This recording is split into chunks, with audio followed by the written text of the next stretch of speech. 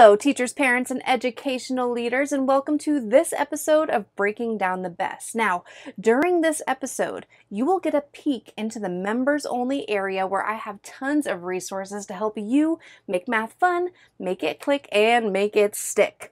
There should be a link somewhere around this video where you can learn more. All right, now that we got that out of the way, let's get to it and let's break down the standard.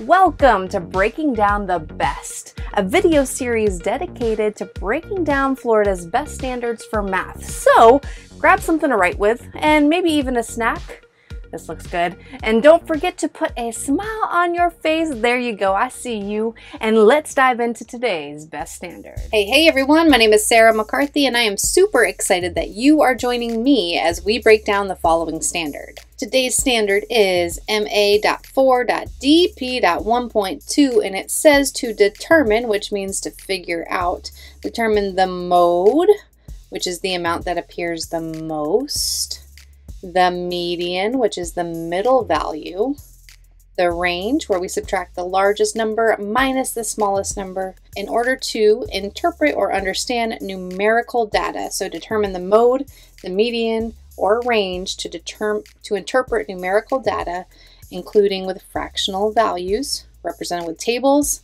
stem and leaf plots, and line plots. So we've got tables, stem and leaf plots, and line plots, and we are determining the mode, the median, and the range. That's what we've got going on today. By the way, this document that I'm marking up all over is not something that I've created. This is something that the Florida Department of Education releases to the public, and in these breaking down the best episodes, I'm just walking through my thought process for when I break down the standard. So we'll do that for about the first half of the video, and then we'll hop over to the website, mccarthymathacademy.com, so you can see what resources you have access to which are strategically aligned to this standard with your taking on the best membership. So we'll break down the standard and then we'll go ahead and explore the resources that are aligned to it. Let's continue. So if there was an example, it says, given the data of softball teams' hat sizes represented on a line plot, determine the most common size. That would be the mode.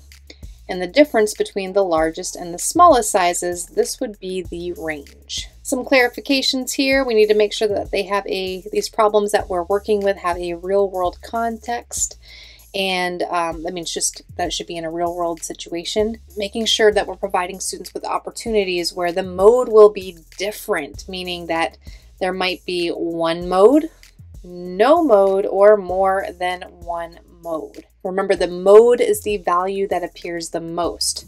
So, for instance, if we have a bunch of data and we have um, one, two, three fours and one, two, three fives, and those values appear the most, we would have two modes or more than one mode.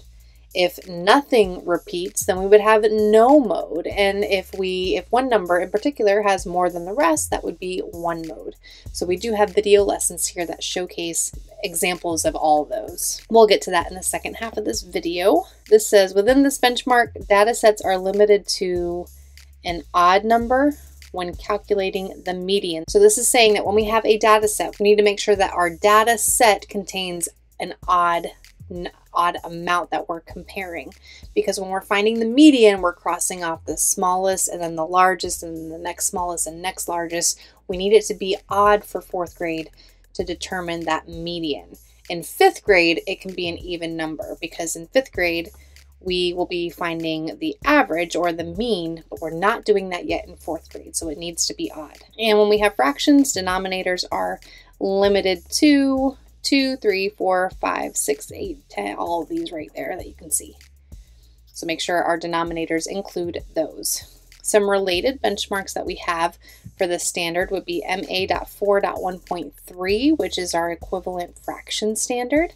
And 1.4 is where we are plotting, ordering, and comparing fractions. Here we, some terms that we need to know, line plot, Median, again, that's what I was saying before, is that we need to have odd values, so we're finding the middle number. The mode is the amount that appears the most. The range is where we're subtracting the largest number minus the smaller number to get our range of 6. And stem and leaf plots look like this, which we explored a lot in the last video on DP.1.1. Where are they coming from in third grade? Some vertical alignment. We have 3.dp.1.2, which was the interpreting data. And then in fifth grade, we have 5.dp.1.2, which is the mode, which we have this year, the range, which we have this year, the median, but we can have odd and even data sets, and the mean, which is new, that's finding the average. So just know that they will be using all of this that you're teaching this year will definitely apply and help them to really just focus in on the mean in fifth grade because the mean is a tough one to figure out. There's a lot of room for error of calculations. So it's really important that we knock it out this year with the mode, the range, and the median. Okay, purpose and instructional strategies. It says that the purpose of this benchmark is to introduce concepts of mode, median, and range as measures of center and spread in a data set. It's a way for us to analyze the data. We need to make sure that we're providing students with multiple opportunities to organize their data and to organize their data from the least to greatest, which will help them determine the range, the mode, and the median. Here they identify what the range is, subtracting the least value from the greatest value in a set.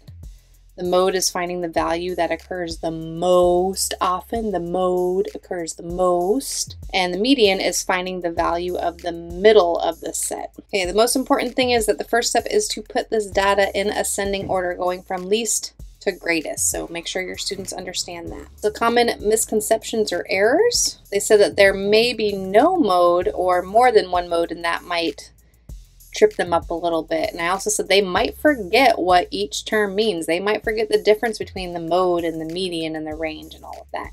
So lots of practice will help. Here are some instructional tasks so you can and, and items so you can see the standard in action. It says to measure the length of 10 used pencils in the class to the nearest eighth of an inch. We'll create a stem and leaf plot and a line plot to represent all of the 10 pencils. And then from that, find the median, the range, and the mode, if there is a mode in the data. Here, notice that this is a line plot without X's. It has dots, so just be careful knowing that. And here it's saying what is the mode, and that would be right here with the 7 because it appears the most. All right, I think that's it for going over this standard. Let's go ahead and hop over to the website and see what you have access to with your Taking on the Best membership. All right, so here we are on the website, mccarthymathacademy.com. We're going to click the tab right here that says Members Enter Here and select Taking on the Best.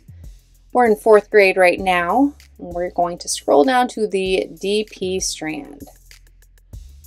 All right, and we are right here, ma.4.dp.1.2, which is finding the mode, the median, and the range in the data set. The first page that opens up are your bronze resources, which include the video lessons and the printable student notes. So students can take down notes as they're watching the video lessons. So it looks like we have one, two, three video lessons. The first one will focus on mode, median, and range of whole numbers. We'll see this a little bit more closely, the, the sheet that goes with it, which is the same sheet that I'm using in the video. For the next video, we have mode, median, and range using mixed numbers. And the last video lesson is to focus mainly on the mode, whether there is no mode, one mode, or more than one mode, while also practicing the median and the range. So these are awesome video lessons to get your students some practice in. So the whole point of these video lessons is to make it fun and to make it click. Students are not expected to achieve mastery after just watching the video lesson and taking down notes. In order to achieve mastery, they have to practice. They have to be able to do it on their own, right? So that's why we have the silver plan. You scroll down and click the silver right there. Then you can click here for the printables for more practice. The way that this is kind of organized with the printables is that it does include the bronze video lessons and then the extra practice follows. So it makes it easier for you to be able to just print out and go and have the video lessons. You can make a little packet if you want to, or maybe you have the workbooks. It just goes with it. But here we have Matthew's test scores right here.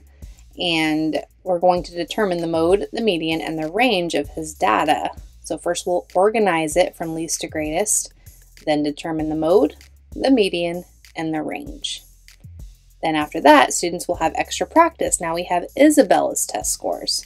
Same thing, to put them in order, determine the mode, the median, and the range eh, by answering the questions below. Students can use their notes from the video lesson to help them practice here. All right, then we have this video lesson, which involves the mode, median, and range using mixed numbers. Okay, again, we're going to arrange our data and determine the mode, the median, and the range. Then there's extra practice that looks very similar.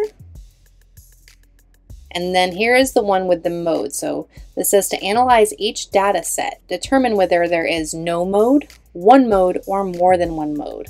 Then find the range and the median of the data. So you can see we have 17, 13, 19. These are odd numbers to help us with the median. Anytime we're finding the median, we need to make sure in fourth grade we have odd numbers there. Otherwise, they will have to find the average of the two numbers in the middle, and we're not there yet in fourth grade. That's outside of the limits. So you can see, I think with this one was more than one mode. You'll have to watch the video lesson to see, but I think this one was um, no an example of having no repeat values, so no mode. And then here we had one mode being nine and a half. Then students will have an extra practice that looks very similar. Again, we have odd numbers, 21, 23, and then this number here. Okay? Then we have a math mission to follow, which kind of combines everything to an activity at the end. The directions say to write the fractions 0 fourth, 1 fourth, 2 fourths, and 3 fourths on, a, on tiny sheets of paper and fold them up. Create random mixed numbers by rolling a number cube and picking up one of the fractions and record that as a mixed number. So if you roll a 3 and you pick up the 2 fourths, you now have 3 and 2 fourths. Do this 15 times, recording the numbers right here. Then we'll create a stem and leaf plot and a line plot based on the data and finally, determine the mode, the median, and the range of the data. So this is all going to be generated by you. So everybody's work might look different because everybody's numbers, all the data that they are collecting should be different, which will make this interesting. However, the mode, the median, and the range should be reflected in their stem and leaf plot and their line plots. So that's a fun one. Finally, for the silver plan, we have the video right here for Math Misconception Mystery. That is located right here, right below where we clicked for the printables. Just click play for the video.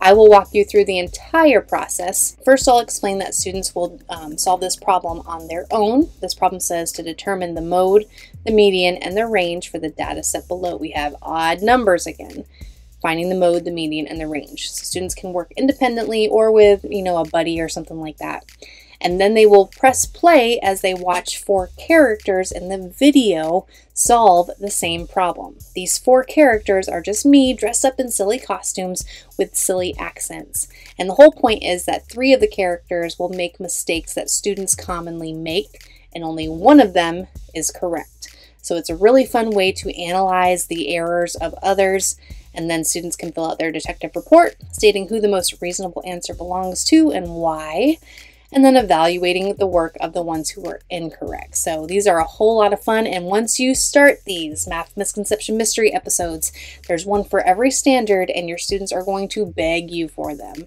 This is a great way to um, review before a test after students have had some exposure and practice with the skill. You don't want to give this to them right away. You want them to have some practice under their belt and understand the concept before they start tackling something like this. Okay? All right, and then finally, we have the gold plan. The gold plan gives you access to everything we've gone over so far, plus a mini assessment for each standard. So for 4.dp.1.2, we have this test. You can see it says show what you know and it has the standard right there. So show what you know, that means that it could be a test, it could be extra practice. However you, however it makes sense for you to um, implement this is totally cool. These mini assessments usually are four to five questions. I believe that this one has four questions. You can see the variety type. We're talking about the mode based on the data, the median, and explain your process. Uh, here, which ones are true about this. So we've got the median, the mode, and the range all involved. Okay. And then for number four, if a new student arrives and we're adding another piece of data, how is that going to affect what we've already stated the range might be, right? So these are aligned to the standard and easy for you to just print and go. You got your answer key right there. You also have access to these episodes of Breaking Down the Best right here clicks, just one or two clicks away from all of your resources right there. These episodes are available on YouTube as well. They just contain ads. It's just a nice perk of it being of being a gold member, it being right here with everything else. But really the biggest highlight of the gold plan is access to McCarthy Math 155, which is a daily math intervention aligned to the previous standards, the Common Core standards that we had in Florida. Now, I know it says Common Core, and I know that we are taking on the best standards right now, uh, but there are, if you've been practicing with these standards at all and you've been comparing, you know that there are a lot of skills that are similar. So, this is a great resource to have as well. The 155 stands for 155 video lessons for each grade level. So if we go to fourth grade, I'm letting you know right now there is nothing on mode, median, or range in fourth grade for this one, or even fifth grade because it just wasn't a standard. But you can see here, if you have students struggling with place value or adding and subtracting numbers with regrouping or multiplication, look, there's 16 multiplication video lessons, 11 division lessons, factors, multiples, patterns, fraction equivalence and comparison, modeling fractions, all that stuff. Adding and subtracting fractions, decomposing, there's so many, relating fractions and decimals. Uh, we do have line plots there, so there's so much here that you still have access to. You just have to be careful of knowing your standards and knowing what might be a little bit outside.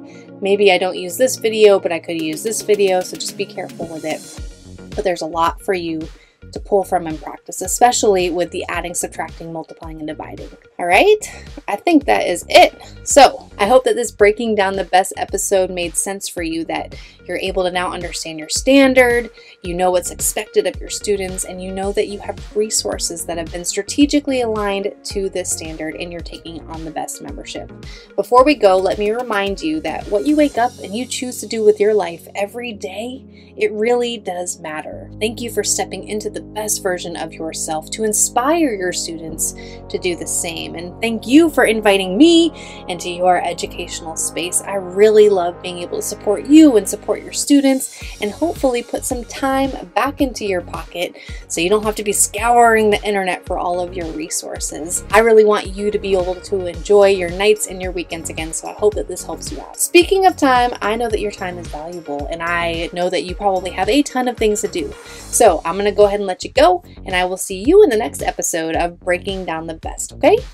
Bye. Okay, so I know that I just said goodbye for now, but I'm gonna ask you to do one more thing, okay? If you enjoyed this episode, please consider sharing it with your teacher friends or other leaders in education. That's how I get to continue doing what I love to do, which of course is supporting you all to the best of my ability. All right, for real now. Bye.